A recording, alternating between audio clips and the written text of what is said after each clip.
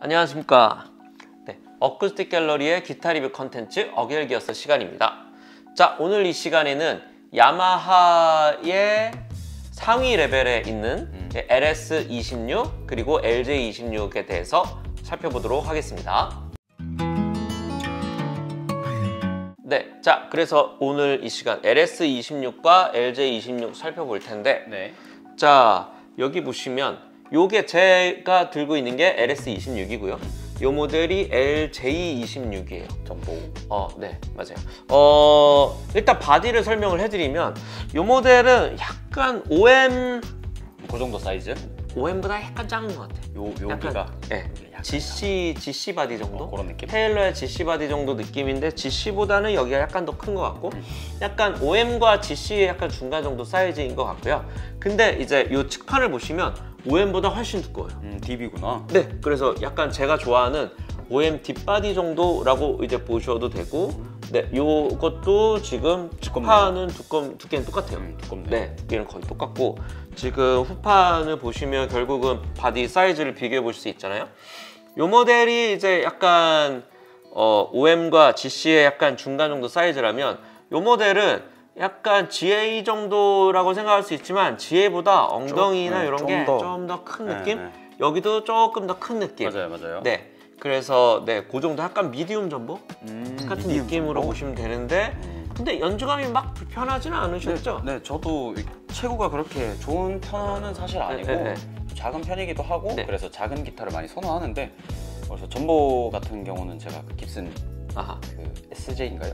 네. SJ200을 네. 만져봤었는데 걔는 엄청 힘들었거든요 아, 연주하기. 그죠. 네. 근데 얘는 아, 전보 같은 느낌은 네, 많이 못 그거는 받았어요. 뭐 네. 사실 슈퍼 전보라서 아 슈퍼 전보. 네, 그거하고는 또 비교 불가고 걔보다는 좀 많이 작아요. 음, 그래서 그래서 이 정도는 괜찮았어요. 네, GA 정도인데 GA보다 약간 더 엉덩이 크다 정도로 이해하시면 될 것 같습니다. 자, 그렇고 지금 여기 보시면 이제 20번대의 야마하 같은 경우는 이제 made in Japan이고 Japan. 일본에서 전체 다 만들고 이제 가격은 한 300만 원대 초반대 정도 되는데 네, 그렇게 되고 상판은 이제 spruce를 사용을 했고요. 네. 네. 그리고 이제 측후판은 지금 Indian rosewood. 근데 확실히 Indian rosewood가 이 10번 때 사용했던 그 rosewood보다는 훨씬 좋은 것 같아요. 음, 결도 네. 그렇고. East Indian rosewood고 결 자체로만 봐도 굉장히 좋은 rosewood를 사용을 했습니다. 자, 그래서 확실히 이제 이 20번 때 야마하 어쿠스틱 기타는 네. made in Japan이고 일단 어, Japan. 이제 그러다 보니까 일단은 마감의 부분에서 음. 이 솔직히 뭐 10번대의 기타들도 마감이 되게 좋은 편이에요. 뭐 LL16, LS16 뭐 그 가격대에서 거의 뭐 베스트셀러잖아요. 가성비 좋고. 네, 네, 가성비 좋고 뭐 소리도 좋고 다 좋은데 사실은 그 마감에서 조금 더 좋은 정도 생각하기보다는 좀 많이 좋다. 많이. 네, 뭐 거의 뭐뭐 사실 뭐 뭐좀 네, 뭐 흠을 잡기가 좀뭐네뭐 그닥 뭐 흠 잡을 데가 없다라고 음. 보시면 돼요. 원래 일본 제품들이 아무래도 이제 마감이 굉장히 좋고 또 되게 좀 꼼꼼하고 음, 그렇죠. 네, 이런 부분들이 있잖아요. 장인 정신 같은. 네, 네, 맞아요. 그런 부분이 있다 보니까 이제 뭐 목재를 사용한 목재의 등급적인 부분 그리고 만듦새 부분에서 굉장히 훌륭하다. 이제 그런 걸 뭐 보시면 되고요. 네. 그리고 지금 상판 같은 경우는 이게 그 ARE가 지금 쓰여진 거예요. 그 공법이 쓰여진 건데 음. 뭐 사실 LL16이나 LS16에도 뭐 LL16 ARE 이렇게 해서 ARE가 되어져 있는데 ARE가 뭐냐면 Artificial 뭐 Resonance Enhancement의 뭐 줄임말이에요. 음. 그래서 뭐 인위적으로 이제 그 공명을 이제. 증가시켰다, 향상시켰다. 그래서 뭐 사실 그 전체 디테일의 공정까지는 뭐 제가 뭐 직접 뭐 본 건 아니지만 어 제가 설 이제 본사 측의 설명을 들었을 때는 약간 뭐 torrefied나 뭐 이런 것처럼 것처럼. 이제 예, 그런 것처럼 공명을 증가시킬 수 있는 이들만의 특수한 방법으로 공명을 확실히 증가시켰다라고 하는데 이제 후에 이제 또 사운드 샘플 들으시고 소리에 대한 이야기를 집중적으로 하겠지만 확실히 울림은 좋아요. 맞아요, 맞아요. 네, 두 모델 다 확실히 울림은 좋습니다. 네, 그 부분이 있고 지금 넥 같은 경우 보시면 보시죠? 네, 5 ply가 되어져 있죠. 하나, 둘, 셋, 넷, 다섯. 5 ply가 되어져 있어서 내구성 면에 있어서 굉장히 좋아요. 뭐 뒤틀림이나 뭐 꺾이는 부분에서 굉장히 좋은 내구성을 보이고 있고 원래가 야마하 기타 자체가 내구성이 진짜 좋아요. 튼튼하군요. 네, 사실은 이 목재 변형에 대한 부분은 기타 사시는 분들은 사실 잘 몰라요. 왜냐하면 목재 변형은 이제 얼마나 잘 건조된 목재를 사용했느냐, 뭐 이런 보이지 않는 부분에 이제 있기 때문에 처음에는 이제 멀쩡하게 샀어도 1년 지나고 나서 변형이 심한 기타들도 있을 수 있는데 그런 부분에 있어서 야마는 굉장히 내구성과 이런 부분이 좀 뭐 저희가 봤을 때 굉장히 튼튼하다. 확실하게. 네, 네. 그런 부분들은 이제 뭐 신뢰할 만하고요. 그리고 헤드머신이 약간 무광으로 이렇게 되어져 있는데. 전 이 헤드머신 굉장히 좋아요. 이렇게 약간 네, 맞아요. 반 네. 반만 광나 있네. 맞습니다. 요게 지금 고토 제품으로 되어져 있고요. 고토의 제품을 썼고 지금 반무광으로 해서 이 노브도 사실 이게 고토를 쓰긴 했는데 시중에서 우리가 구할 수 있는 노브는 아닌 것 같아요. 그런 것 같아요. 네, 이거 이런- 못 구하죠. 이렇게 네. 된 거를 네, 고토 것 중에서 이렇게 된 노브는 지금 없고, 음. 네, 그래서 뭐 그런 부분은 확실히 좋으실 거고, 어, 지금 지판의 inlay 같은 경우는 이제 pearl로 해서 약간 이제 다이아몬드 square로 해서 좀 들어가 있네요. 네, 어, 그런데 이게 지- 이제 inlay 설명하시면서 봤는데 네. 이 브릿지하고 네. ebony 거- 색깔이 네, 지판 완전 네, 새까맣죠. 완전 새까매요. 요즘에 이런 ebony 보기 되게 힘들잖아요. 네, 숨구멍도 거의 안 보여. 음, 엄청 힘든데 이 촘촘한 게 네, 새까만 에보니가 네, 올라가서 맞아요. 어, 저는 이런 거 굉장히 좋아하거든요. 네, 어, 너무. 너무 예뻐요. 네, 네, 네. 그렇게 되어져 있고 지금 픽가드의 부분은 확실히 이제 야마하 L 시리즈를 딱 드러내는 약간 L자 비슷하게 음, 이렇게 네 그렇게 되어져 있어서 요거는 사실 전통적인 뭐 마틴이나 뭐 테일러 우리가 많이 알고 있는 픽가드하고는 좀 달라요. 그래서 호불호가 조금 있을 수는 있는데 네뭐 요거 야마의 이제 자신들만의 약간 시그니처 같은 그쵸, 그쵸, 그쵸. L 시리즈에 들어가는 이 pickguard니까 그렇게 아시면 되고요. 일단은 외관적으로는 일단은 이런 상태이고 어, 일단 사운드 샘플 한번 들어보시고 네. 좀더 이야기를 나눠보시죠. 그렇습니다.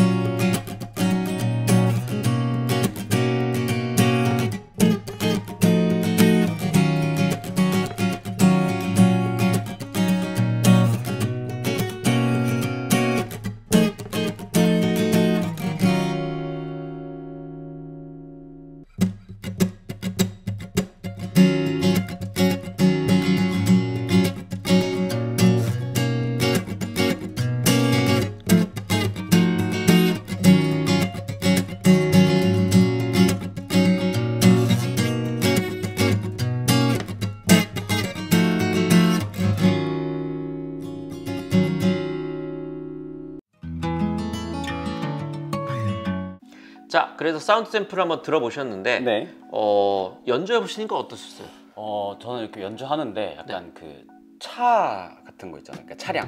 아, 아, 아 오늘도 네. 상황극 네, 그런 그러니까. 제가 네. 그런 거 되게 좋아하거든요.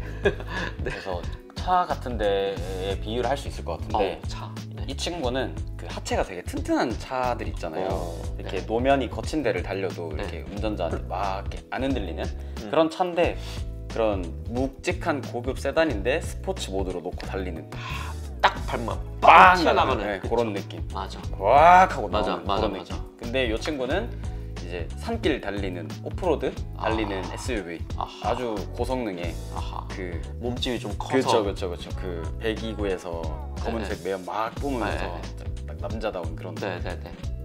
아 내가 다 막 밀어 밀어 버, 밀어버린다 약간 이런 느낌 아하, 네네. 그런 느낌이 많이 들더라고요 음, 맞아. 그러니까 뭐 이걸 조금만 소리로 표현을 제가 해보면 제가 느낀 거는 얘는 일단은 바디가 그러니까 울림이 되게 갖고 있는 에너지의 tension감이 되게 많은데 음. 바디가 작다 보니까 조금 탁 건드리면 황 하고 어 나오더라고요. 맞아 맞아 맞아 그러니까 아까 이게 빡 밟으면 황막 하고. 토크 발이 엄청 세서 딱 밟으면 빵 나가는 것처럼. 얘는 그래요. 그래서 사실은 성량은 얘가 더 큰데 음, 사실은 딱 쳤을 때 댐핑이라고 해야 되나? 반응 그렇게 거? 반응이나 댐핑은 얘가 확 소리가 좀 사실 쏟아지는 느낌이에요. 음. 그래서 사실 얘는 저는 솔직히 뭐 둘 중에 만약에 고르라고 하면 저는 일단 얘. 이 친구 근데 저는 사실 댐핑을 되게 좋아하는 사람이고 음. 차도 토크감을 좀 좋아하는 사람이라 딱 밟으면 딱 치면 빡 으앙 하고 나와주는 음, 그런 거에 좋은데 얘가 지금 사실 바디가 이게 약간 OM보다 조금 작은데 이제 deep body라고 말씀드렸잖아요. 이제 deep body로 되어져 있다 보니까 원래 deep body가 잘못 쓰면 소리가 밖으로 튀어나오지 못하고 안에서 먹먹하게 우엉 우엉 이러고 끝나요. 근데 얘는 deep body인데 밖으로 튀어나오는 그 느낌이 되게 강력하게 나오니까 오히려 얘의 그 깊은 느낌을 더 잘 살려서 음, 이렇게 우왕 하고 나와줄 수 있는 거예요. 이제 그렇게 설계가 돼서 굉장히 소리가 확 쏟아지는 느낌? 뭐 사실 뭐 어지간한 OM 바디의 좋은 기타하고 비교해봐도 성량 면에서 절대 딸리지 않는 음, 그럴 것 같아요 네, 그런 느낌이 좀 있고 얘는 그 얘보다 더 바디가 크고 성량도 더 커요. 이게 근데 이제 체감적으로 느끼기에는 좀 더 얘가 안정감이 있고 음. 좀더좀 넓고 좀 우왕하고 나와주는 느낌은 있지만 음, 이제 체감적으로 느끼기에는 얘가 좀 더 확 쏟아지는 느낌. 맞아 맞아. 쏟아지는 느낌은 얘가 더 좀 좋고 기본적으로는 톤이 약간 사이다처럼 약간 시원한 탄산수처럼. 어, 톡 쏘는? 예, 둘 다 사실 뭐 굳이 뭐 이렇게 소리의 결로 따지자면 마틴 계열은 절대 아니고요. 음, 약간 뭐 얘도 어쩔 수 없이 밝은 톤이다 보니까 테일러나 뭐 레이크우드나 약간 요런 쪽 부쉘이나 음. 약간 요런 쪽의 모던한 사운드 쪽으로 이제 놓고 보시는 게 제가 봤을 때 맞는 것 같은데 뭐 그런 것들 중에서 좀 시원시원하고 좀 성량이 좀좀 톡- 이제 좀 확 좀 쏟아질 수 있는 기타 그런 기타를 보신다면 저는 이쪽으로 가시면 되고 어, 그리고 얘보다 좀 더 중후하고 좀 넓은 사운드 이제 그런 안정적인 사운드의 기타 성량도 큰 기타 를 고르신다면 저는 이쪽으로 가시면 좋으실 것 같아요 사실은 이렇게 이제 spruce top의 로즈우드의 전체적으로 완성도가 높은 뭐 기타로 하이엔드 브랜드 중에 가시려면 뭐 테일러 같은 경우도 어찌됐든 뭐 사실 414C나 414C 로즈우드 음. 뭐 414C 로즈우드 정도가 비교할 수 있겠죠? 그렇게 따지면 저 기타도 한 400 정도는 하니까 얘네랑 한 100만 원 정도 차이가 나거든요. 그죠 그죠 그죠. 뭐 그렇게 봤을 때에는 약간 내가 그 정도까지는 쓸 수는 없고 약간 모던하면서도 밝은 톤에 좀 뭐 그런 울림도 좀 좋고 약간 그런 기타로 해서 한 뭐 200만 원대에서 살 수 있는 좋은 가성비 좋은 기타를 찾는다라고 하시면 저는 이 야마하 기타도 좋은 선택지 네, 모던한 톤 중에서는.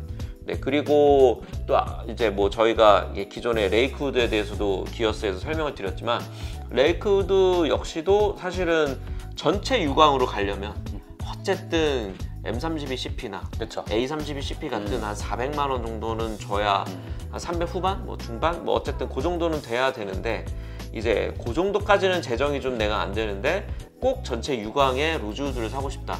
그런 분들은 뭐 사실 굉장히 좋은 선택 그쵸 중에 그쵸 하나. 그쵸. 네, 라고 저는 볼 수 있을 것 같습니다.